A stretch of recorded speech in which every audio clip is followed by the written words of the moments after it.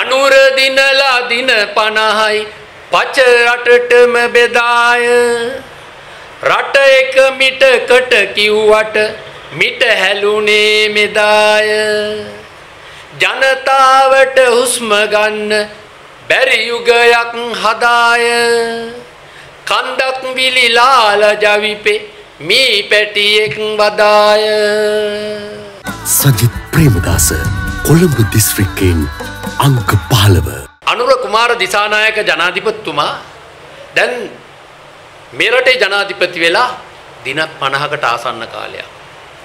හැබැයි එදා ජනාධිපති වෙන්න කලින් වේදිකාවේ බෙරිහන් දීලා කිව්වේ අලි දෙන්නම් කොටි දෙන්න. නොඑක් සහන දෙන්න. ජනතාව අපි උස්සල තියන්න. ජනතාව හතරගාතේ වැටිලා ඉන්නේ. ඒ නිසා ජනතාවට සහන දෙන ජීවන වියදම අඩු කෙරෙන ඒ වගේම කාටත් සතුටු වෙන්න පුළුවන් සතුටු රටක් සන්තෝෂ වෙන්න පුළුවන් රටක් නිර්මාණය කරනවා කියලා. මම දන්නේ මහත්තයෝ දැන් මේ රටේ ජනතාව කොච්චර සතුටු වෙලාද කියලා. හැබැයි කියයි නෑ අපට කාලය මදි.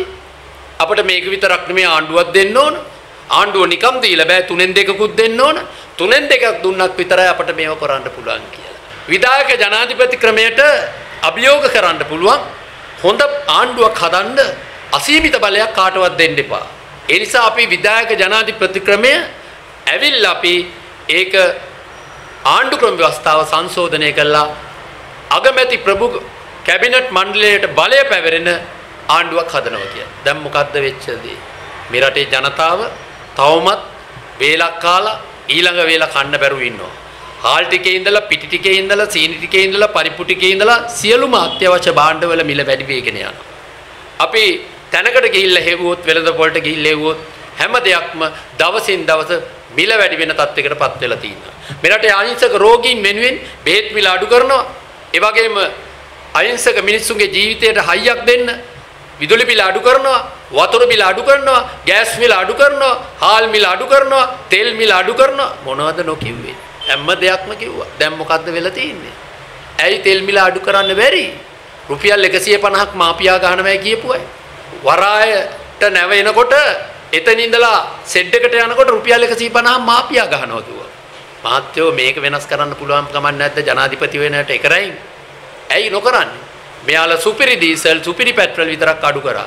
අහිංසක මිනිහට අවශ්‍ය වෙන අහිංසක ගොවියට, කම්කරුවට, ඒ වගේම පාසල් යන දරුවට, ඒ වගේම රාජ්‍ය සේවක කන්තෝරුවට යන රාජ්‍ය නිලධාරියට මේ විදියට ඒ මිනිසුන්ගේ ඇඟට කිසිම දැනෙන්නක් නැහැ. හරියට නිකන් දැන් අනේ මන් දන්නේ අර ෂෝ එකට පැෂන් එකට ජනප්‍රියතාවයට අපිත් මාලිමාවට අපිත් මාලිමාවට අපිත් මාලිමාවට කියපු අය දැන් ගලේ පහරපු බලල්ලු වගේ. දැන් ගෙදරකට එදා තුන් පාරක් ගිහපු මිනිස්සු ජනතා විමුක්ති පෙරමුණේ තමන්ගේ හෙන්චයියලා දැන් එකපාරක් විතරක් ගිහිල්ලා යන්තම් සේෆ් වෙලා දිනනවා සමහර තැන් වලට යන්නත් බෑ. ගිහපු ගමන් මිනිස්සු අහන කො මහත්වෝ අර සිස්ටම් චේන්ජ් එකද මේකද?